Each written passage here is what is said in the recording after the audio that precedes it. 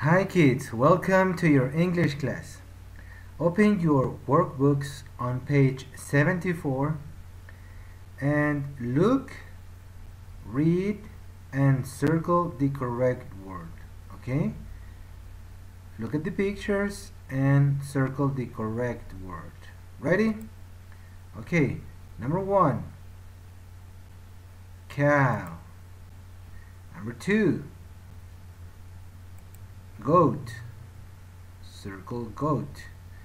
Number three barn. Circle barn. Number four donkey. Circle donkey.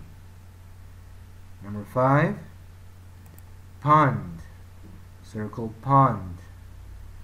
Number six duck. Circle duck. Okay Good job. Now, follow the animal words, okay? Only the animals that are here, okay? Ready? Let's do it together. Cow. You follow goat. Now, duck. Sheep donkey, cat, and finally horse. Okay? Good job.